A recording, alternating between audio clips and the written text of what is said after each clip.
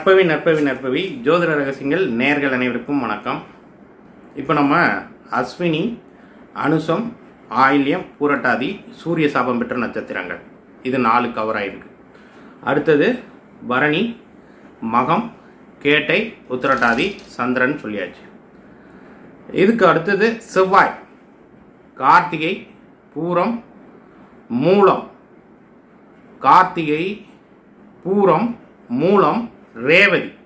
இந்த நான்கு நட்சத்திரங்களும் செவ்வாயின் சாபம் பெற்ற நட்சத்திரங்கள். அப்போ சூரிய சாபம் பெற்ற நட்சத்திரங்கள் நம்ம பார்த்துட்டோம்.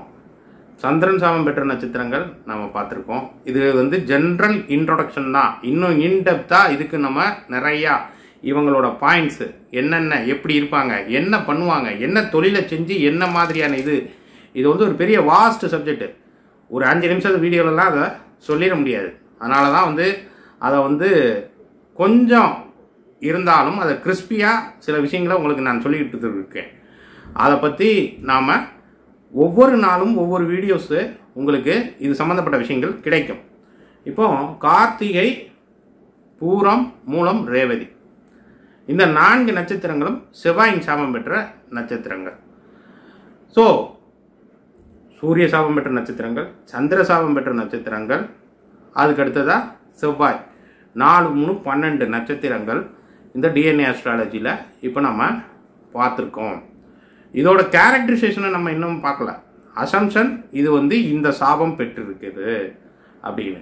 ஏன்னா இன்னும் நிறைய பேருக்கு வந்து இது சாபங்கிறீங்க தோஷங்கிறீங்க இது எப்படி வந்து இருக்கும் இந்த நட்சத்திரத்தில் நான் பிறந்திருக்கேன் இதுக்கு என்ன பரிகாரம் அப்படின்று தான் நினைக்கின்றோமே தவிர இதில் உள்ள விஷயங்கள் எப்படி இது தொடர்பு? செயின் ரியாக்ஷன் மாதிரி தான் இப்போ ஒருத்தர் ஒருத்தர் வீட்டில் கார்த்திகை நட்சத்திரம் இருக்காங்க அப்படின்னா கிருத்திகை நட்சத்திரம் இருக்காங்க அப்படின்னா அங்கே கண்டிப்பாக மூலம் அதே மாதிரி ரேவதி பூரம்.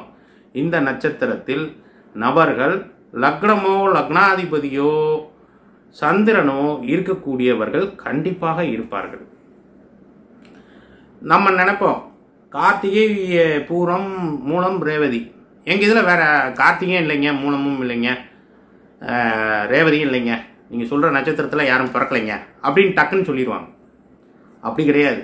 ஏன்னா அவங்களுக்கு இந்த லக்னமோ லக்னாதிபதியோ அந்த அளவுக்குலாம் தெரிய நபர்கள் வாய்ப்பு மிகவும் குறைவு. அதைத்தான் நான் உங்களுக்கு எஜுகேட் பண்ணுறேன் பாதசாரத்தை எடுத்துட்டீங்க அப்படின்னா அதில் இருக்கும். ஒரு வீட்டில் இருக்கக்கூடியவர்கள் நாலு பேர் இருக்காங்க. கணவன் மனைவி ரெண்டு பிள்ளைங்க இருக்காங்க அப்படின்னா அவங்க நாலு பேருக்குமே விதி மதி கதி. விதி மதி கதி.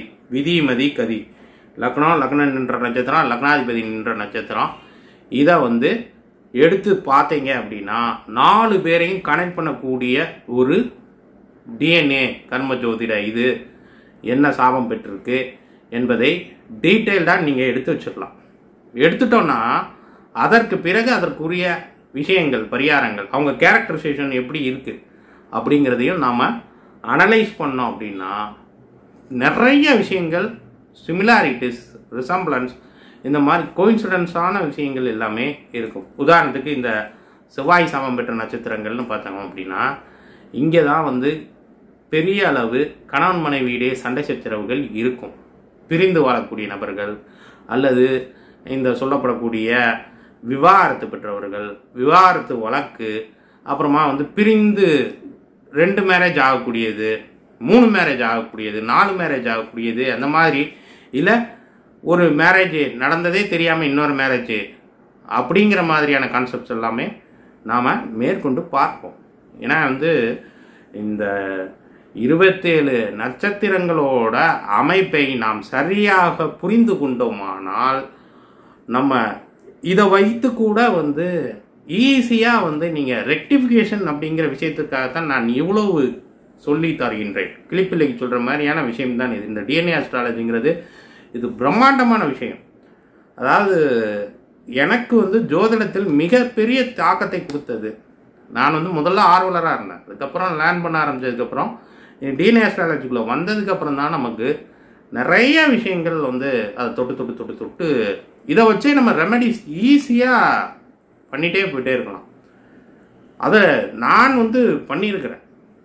இப்போ நான் பரணி நட்சத்திரம். எனக்கு வந்து சந்திரன் சாபம் பெற்ற நட்சத்திரம். பிறந்தது.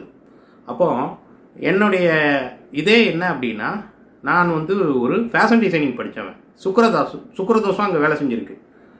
டெக்ஸ்டைல் டெக்னாலஜி ஃபேஷன் டிசைனிங் நான் படிக்கணும்னு நினச்சது computer science BSc computer science அப்போல்லாம் டூ தௌசண்ட்லலாம் வந்து கம்ப்யூட்டர் சயின்ஸ் அப்படிங்கிற அந்த ஃபீல்டு வந்து பூம் ஆகிட்டு இருந்தது. அப்புறம் அப்போ நமக்கு இருக்கக்கூடிய ஆசை என்ன?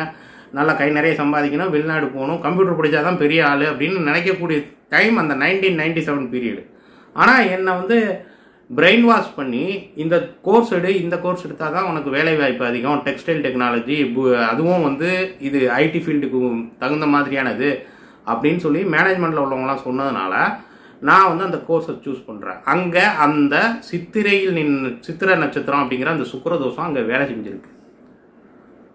இங்கே சந்திரன் சாபம் பெற்றது சந்திரன் அப்படிங்கிறதும் என்ன? துணி சம்பந்தப்பட்டது மட்டும் அல்ல அது வந்து நீர் சம்பந்தப்பட்டது. என்னுடைய லைஃப் ஸ்டைல்லையே இதெல்லாம் நான் வந்து பார்க்கும்போது இது இது சம்பந்தப்பட்ட தொழிலை நான் செய்திருக்கின்றேன். பழனி நட்சத்திரம் துரியோதனன் பிறந்தது. துரியோதனனுக்கு சந்திர சாபம். அப்போ இது சம்பந்தப்பட்டதை நம்ம பார்க்கும்போது பரணி நட்சத்திரக்காரங்கள்லாம் அவங்க தாயாரால் அவர்கள் கெடுவார்கள் அப்படிங்கிறதும் ஒரு ரூல் சந்திரசாபம் பெற்றாலே தாயார் மாமியார் இவர்களால் அவர்களுக்கு பிரச்சனைகளும் உண்டு சப்போர்ட்டும் உண்டு. எங்கேயுமே தோஷம் யோகம் ரெண்டுமே உண்டுன்னு சொல்லியிருக்கேன் உடனே அந்த தாயை நம்ம ஒதுக்கி வச்சிடக்கூடாது. இல்லை வந்து மாமியாரை ஒதுக்கி வச்சிடக்கூடாது. அவங்களால் யோகமும் உண்டு அவர்களால் பிரச்சனைகளும் உண்டு. இதையும் நாம் ஐடென்டிஃபை பண்ணணும். நன்றி மகிழ்ச்சி வணக்கம். பிரேம்சந்த் நம்பிராஜன்.